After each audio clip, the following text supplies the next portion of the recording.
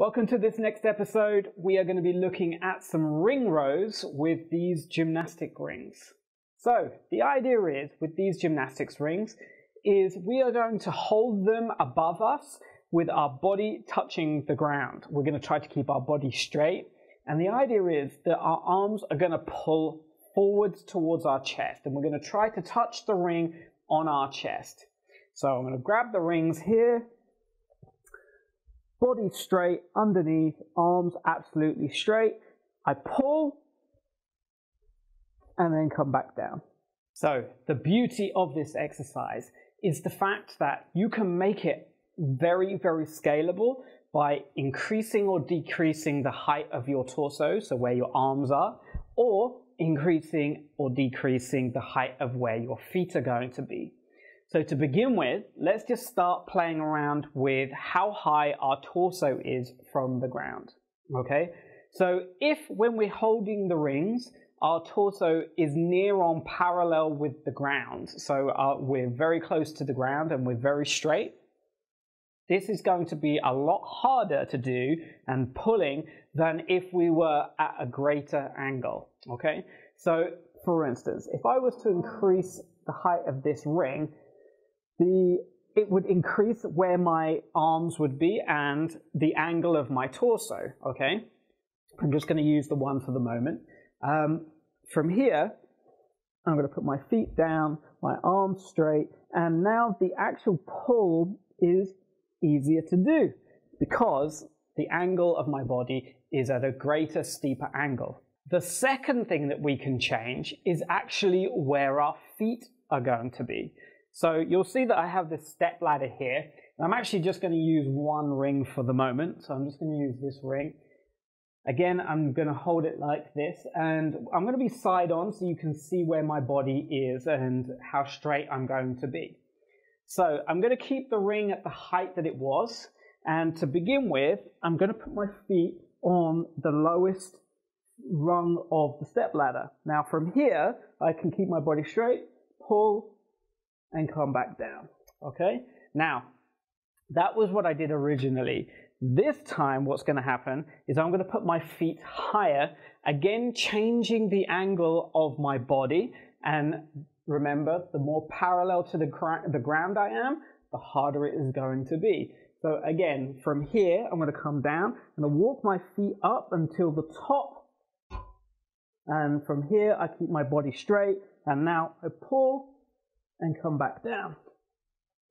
So again, you can see that I am parallel to the ground and it now becomes harder to do the exercise. So as you can see, changing the height of the rings or your feet to change the angle of where our body is going to be is what's going to make this exercise easier or harder for you. Okay, let's have a look at some of the pluses and minuses of using the rings and doing ring rows. On the plus side, the first one is the fact that it is highly scalable. By changing the angle, we've said, you can make this easier or harder, and that is very easy to do by just changing the straps, changing the height, or bringing your feet up higher. Okay, so the second benefit is the fact that we're now doing some pulling. We can change the angle, which means we're going to be able to do a type of pull depending on where our body is going to be. So the other great thing is the rings are very unstable, okay? So they move around a lot. These straps move around a lot. And it means that any stabilizing muscles to keep your arms in and doing the pull are really going to help when it translates onto a bar where you don't actually need to use those muscles as much. Okay, so moving on to some of the negatives of the rings. Number one is the fact that you actually need rings. So you have to go out and buy these. Um, they come in a lot of different qualities. Um, and to be quite honest, we don't actually need very high quality ones. You can get these fairly cheap again off Amazon or eBay. I'll put the link in the description. But they can come in very handy with different types of training. Also, because the mechanics is slightly different, the pulling forwards is not going to translate to the pulling down. So you're going to be working the mechanics slightly differently with rings, which again, we kind of want to mirror the pull up as accurately as we can So again, there's a definite negative with using the rings as training for the pull-up. Okay, so a couple of things to think about when you are doing the rings. Now, first off, we want to try to keep our hands facing forwards. So this is going to replicate when we go up onto the bar. We want to try to keep the rings in this position rather than this position, which will generally start to happen. You're, they'll try to pull inwards, so you're going to have to force your hands outwards.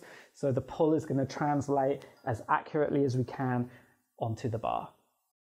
Lastly, one of the other problems is the fact that when you start becoming fatigued from doing the training with the rings, what generally happens is the back and core muscles start to get tired. And you start to see that there's this bend in the torso. You need to keep your body straight the entire time. Otherwise, it's not doing the work correctly, and you're actually putting the, the stress on the wrong muscles. So what generally happens, again, I'll use just one bar, uh, one ring from the side. So when, let's go up here, you want to keep your body straight, squeezing at your glutes and your abs, and this is where you should be. Generally, when people become fatigued, this starts happening. And when the bend in the butt and the hips starts happening, this is when you know that the quality of the pull is not good at all.